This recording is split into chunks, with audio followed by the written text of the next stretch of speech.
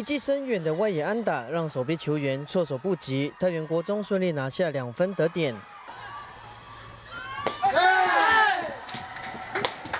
第五局，太原国中与花莲国中陷入激战，最后太原国中靠着坚强的守备与多次二垒安打突破僵局，成功拿下两胜的战绩，成功晋级。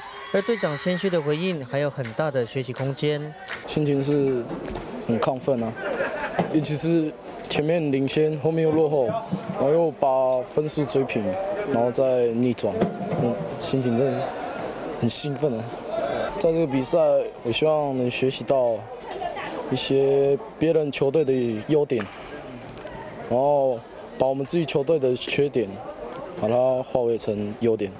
除了安排各项赛程，原棒协本次也邀请多位职棒选手亲自在赛后实际教学调整，提供球员最立即的技术指导。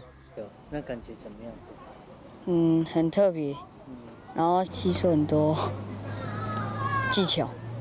本次赛事共有四十七支队伍，其中包含三十二支国小少棒队及十五支国中青少棒队伍，五百多位选手参赛。但理事长指出，偏乡人口外移，学生人数不断萎缩，连带影响球队的经营问题。而原棒协仍会持续提供相关协助，支持基层棒球的发展。原棒协能够提供、能够帮忙的，我们会尽量做，也会跟呃政府来协调，说哦，我们要帮助哪一个学校学校。但人员方面，其实不是我们可以帮得上忙。那如果有真的有需要，我们也愿意提出协助，来帮助有可能会面临解散的球队啊。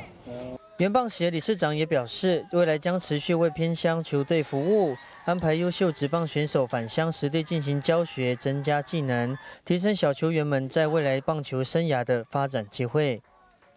原色新闻早老被超联市采访报道。